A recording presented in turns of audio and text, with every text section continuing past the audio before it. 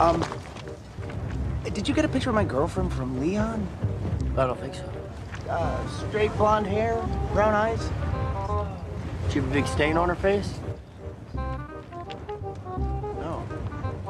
Haven't seen her. You guys, I just did a really dirty thing.